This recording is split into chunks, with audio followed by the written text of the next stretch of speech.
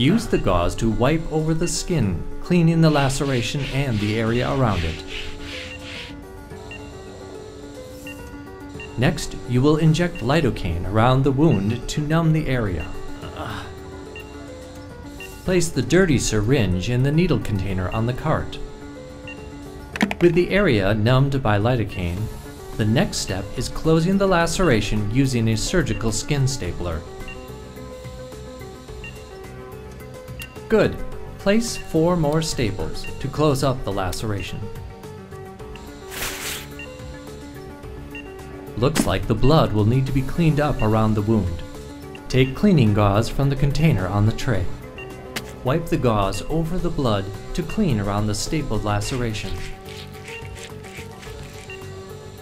All clean. Now drop the bloody gauze in the garbage pail to your left. The last thing to do is dress the stapled wound with a bandage. Place it gently over the wound.